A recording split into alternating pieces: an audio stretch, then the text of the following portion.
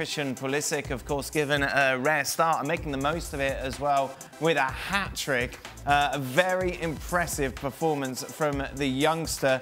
Uh, Frank, let's start with you. What did you make of it?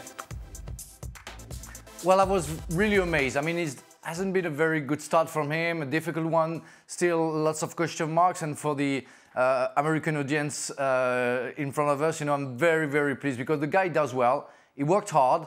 Um, he still needs to improve lots of his game, but he's getting there, working again very hard to, to make sure that uh, he's going to achieve something for the Blues. What he did yesterday proved that he has the talent, that he has the stamina, and uh, that he deserves to be at the Chelsea Football Club. Yeah, I don't think his talent has ever been in question. I think the big thing was always be, go there and be patient. And, you know, the, the level of frustration, and Frank mentioned this side of the pond here in America, the level of frustration was, was galling a little bit because no player has the divine right to walk into any big club and start, particularly one where there are other options, other young options. And so the whole point was like, be patient, wait your chance, which he did get against Ajax, did very, very well when he came off the bench. And that meant Frank Lampard thought, well, hold on, I think I should play this guy at the weekend, give him a chance. Gets a hat trick. Now it's about consistency. Now it's about the confidence level and whether Frank Lampard's going to keep him in the team full time. But I don't think there was any doubt that at some point we were going to see a good Christian Pulisic. The point was how much game time is he going to get? Uh, what do you make of those saying on Twitter, see, Frank, this is why you should be playing him more? but, well, listen, he's, the talent is, has never been in question. It's about consistency.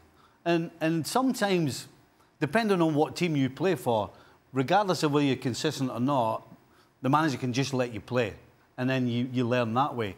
Unfortunately for him, he's got so much competition for a place. Mm -hmm. The Frank can, Frank, Frank can put Pedro in, or Willian, uh, or Hudson-Odoi. So the competition is what makes it hard for him to be stepping on the field week after week. Now, if he continues doing this, then he'll, be in, he'll end up being Mason Mount, who yeah. is one of the first on the team sheet. The trouble is, you can have middle ground here.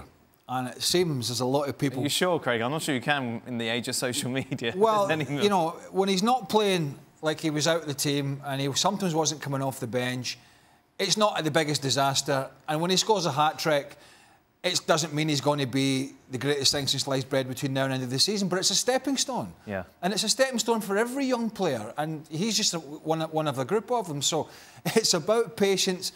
I have to say, and we talked about it last week, it's been a great run for Frank Lampard thus far.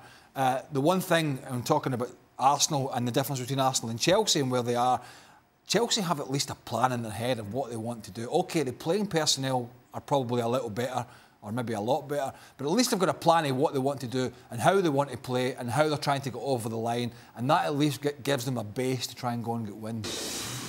Well, thank you very much for watching ESPN on YouTube. For more sports highlights and analysis, be sure to download the ESPN app. And for live streaming, premium content, and let's not forget as well, ESPN FC, seven days a week. Subscribe to ESPN Plus.